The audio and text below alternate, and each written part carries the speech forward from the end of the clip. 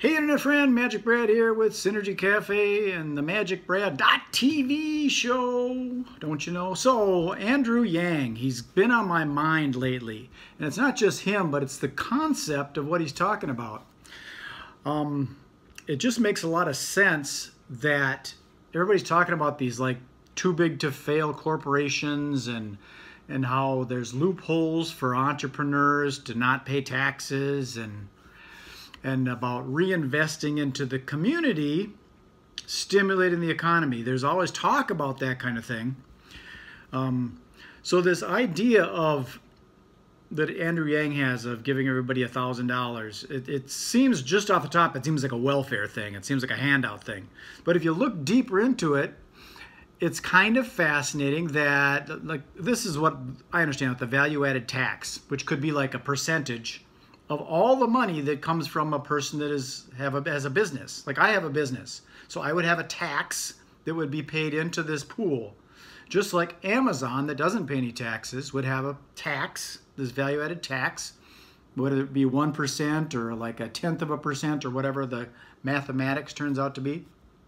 But all businesses, whether they're corporations like General Mills, Pillsbury, Target, 3M, um, Medtronic, Amazon, Uber, um, Ziegler, Caterpillar, um, all these businesses, big and small, pay a little bit, the same amount for everybody, like 1% or one tenth of a percent, all goes into this pool, and then it's distributed to every United States citizen.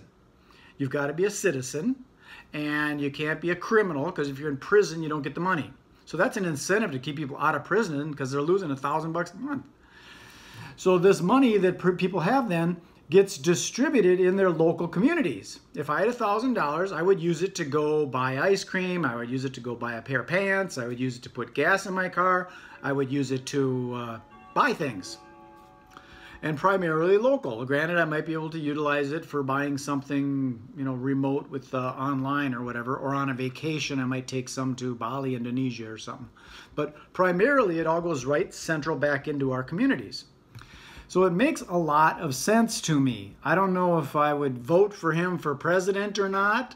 I don't get into the political whole thing, but the concept makes a lot of sense of taking the money because the world is based on money. It's all best based on this exchange kind of thing of, of, of value and monetary stuff.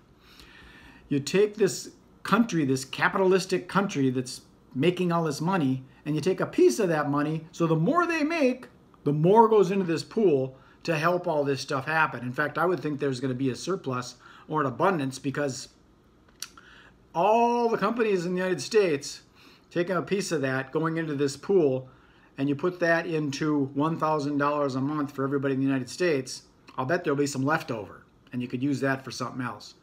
Anyways, I think it's a great idea. You comment below, let me know your thoughts on it, and uh, give me a subscribe and a like, and join my little video club here. And uh, who knows? Maybe we'll meet each other live and in person at a live event someday. So peace, love, and happiness. This is Magic Brad signing off. Enjoy the rest of your day. Be well. Bye.